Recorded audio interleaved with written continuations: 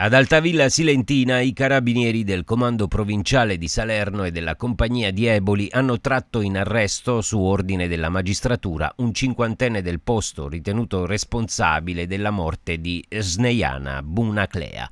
La badante moldava di 43 anni, rinvenuta lo scorso 5 marzo priva di vita all'interno di una vasca da bagno nell'abitazione ove solo pochi mesi prima aveva trovato alloggio ed impiego per prendersi cura di un'anziana signora. L'uomo incensurato, figlio dell'anziana signora, è stato prelevato questa mattina dalle stesse mura ove gli inquirenti ritengono che per motivi passionali abbia ucciso la donna la scorsa primavera e dopo una breve sosta in caserma per le operazioni di fotosegnalamento è stato associato al carcere di Fuorni in applicazione dell'ordinanza di custodia cautelare in carcere emessa dal GIP del Tribunale di Salerno che nei prossimi giorni lo convocherà per il primo interrogatorio. Il provvedimento si fonda sui gravi indizi di colpevolezza acquisiti dai militari dell'arma a conclusione di una serrata attività di indagine diretta e coordinata dalla Procura della Repubblica presso il Tribunale di Salerno, avviata lo stesso giorno del rinvenimento del cadavere della donna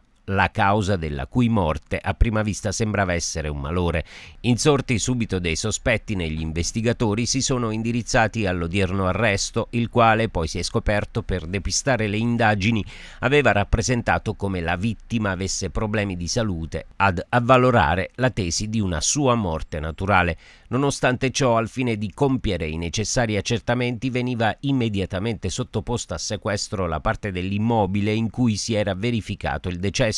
e l'autorità giudiziaria disponeva esame autoptico sulla salma della giovane donna. Si è poi provveduto a separare i canali investigativi assegnando gli accertamenti tradizionali alle cure dell'arma locale in sinergia con il comando provinciale impegnato ad approfondire gli aspetti tecnici e di polizia scientifica. Preziosissima la relazione autoptica dei consulenti medico-legali i cui circostanziati elementi tecnici calati nel più ampio quadro delle indagini, hanno dato maggiore concretezza all'ipotesi di un omicidio d'impeto avvenuto con movente di tipo passionale. La donna è stata raggiunta mentre si stava lavando dopo essere riuscito a sopraffarla. Cogliendola di sorpresa, l'uomo l'avrebbe affogata tenendole schiacciata la testa sul fondo della vasca da bagno piena d'acqua. In seguito, sempre secondo quanto emerso dalle indagini, l'omicida si sarebbe reso conto di quanto accaduto e solo dopo aver alterato la scena del crimine per simulare un incidente avrebbe allertato i soccorsi.